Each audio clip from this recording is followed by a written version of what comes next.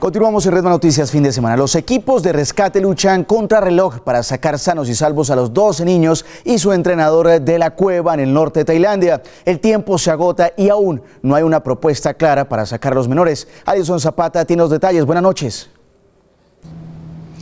Dos semanas llevan atrapados y hoy es la primera vez que los menores pudieron comunicarse directamente con sus familias a través de cartas. Los escritos le han dado la vuelta al mundo.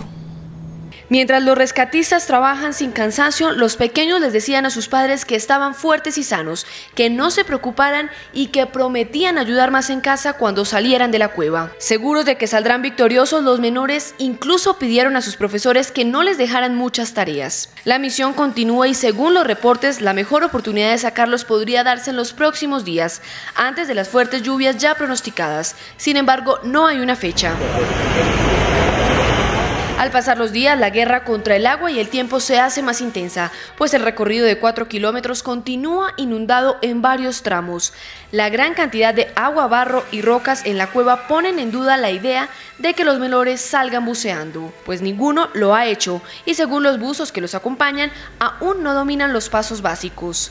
Solo en llegar hasta el grupo los profesionales gastan seis horas. Desde el centro de operaciones aseguran que ni siquiera hay un estimado de cuánto tiempo tomaría sacar a un solo niño.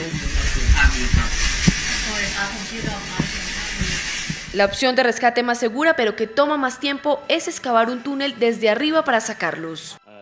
Estamos perforando desde arriba, ya hemos perforado en más de 100 lugares, pero todavía no hemos conseguido conectar con la ubicación de los niños. Los equipos tailandeses e internacionales han suministrado comida, oxígeno y atención médica, pero se agudiza la preocupación por la bajada del nivel del oxígeno. Según las autoridades, el mundo jamás había visto un rescate de tal magnitud. Más de 1.300 personas participan en esta operación. El futuro de los pequeños es incierto, incluso se ha hablado de que les suministrarán algunos recursos para que aguanten allí durante algunos meses mientras acaba la temporada de lluvias en Tailandia. Esta noticia tiene conmocionado al mundo. Hoy el presidente de la FIFA aseguró que espera los niños sean rescatados pronto y los invitó a ver la final del Mundial.